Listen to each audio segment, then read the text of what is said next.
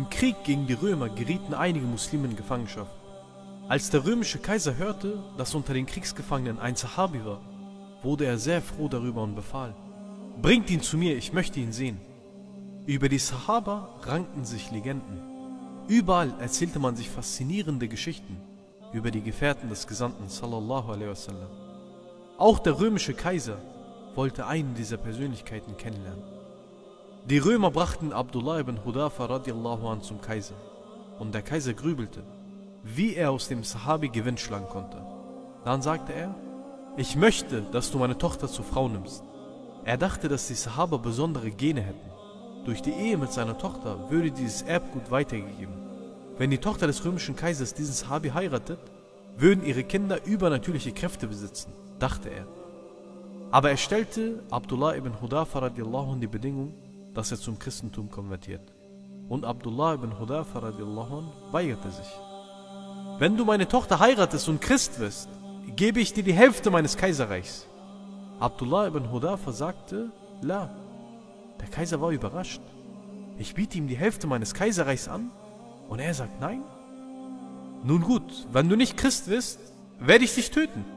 Was denkst du darüber? Willst du wohl Christ werden? La. Der Kaiser war verwundert. Ich biete ihm die Hälfte meines Kaiserreichs an. Und er sagt nein. Ich bedrohe sein Leben. Und meine Drohungen haben keine Wirkung auf ihn. Er antwortet auf meine Drohungen mit Nein. Was geschah danach? Abdullah ibn Hudafa war nicht der einzige Kriegsgefangene. Viele aus seiner Armee waren ebenfalls in Gefangenschaft geraten. Also ließ der Kaiser einen anderen Gefangenen zu ihm bringen und einen Kessel mit kochendem Öl aufstellen. Dann warfen sie den Muslim in das kochende Öl. Die Überlieferung sagt, dass sich die Knochen vom Fleisch lösten. Das Öl war so heiß, dass der Körper geschmort wurde. So wurde dieser muslimische Gefangene vor den Augen von Abdullah ibn Hudafa radiallahu an ermordet. Dann fragte der Kaiser, willst du nun deinen Glauben aufgeben? Andernfalls werden wir dich auch in das kochende Öl werfen. Abdullah ibn Hudafa radiallahu an sagte, ich werde meinen Glauben nicht aufgeben. Der Kaiser befahl seinem Diener, bringt ihn zum Kessel. Und als sie zum Kessel kam, begann Abdullah ibn Hudafa zu weinen. Der Kaiser sah die Tränen und sagte, halt, bringt ihn zurück.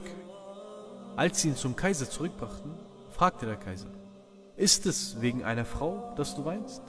Oder weil du deine Kinder bald zurücklassen willst? Ist es wegen eines Landes, das deine Erinnerung weckt? Oder rührt dich dein kostbares Leben zu Tränen? Abdullah ibn Hudafa radiallahu an sagte, Denk nicht, dass ich aus Angst vor dem Tod weinte. Ich weinte, weil ich mich erinnerte, dass ich nur eine Seele habe und meine Seele nun meinen Körper verlassen wird. Ich weinte, weil ich wünsche, dass mir Allah 100 Seelen gibt, damit ich diesen Tod 100 Mal um Allahs Willen sterben kann. Ich weinte nicht aus Angst vor dem Tod. Ich weinte, weil ich 100 Mal als Shahid sterben möchte. Das ist eine Stufe des Iman, die man sich kaum vorstellen kann. Das lehrt uns, in diesem Glauben geht es nicht um Worte und nicht darum, mit seinem Wissen anzugeben. Es geht einzig um die Opferbereitschaft um Allahs Willen. Als der römische Kaiser das hörte, wurden die Rollen vertauscht, als wäre er der Gefangene und Abdullah ibn Hudafa radiallahu der Kaiser. Der Iman in seinem Herzen ließ ihn über den Kaiser triumphieren. Der Kaiser war fassungslos, er brachte kein Wort heraus. Nach einer Weile sagte er zu Abdullah ibn Hudafa, würdest du vortreten und meine Stirn küssen, dann lasse ich dich frei. Meine eigene Freiheit kümmert mich nicht sagte Abdullah ibn Hudafa. Wenn du mich befreien möchtest, musst du alle Muslime freilassen, die du gefangen genommen hast.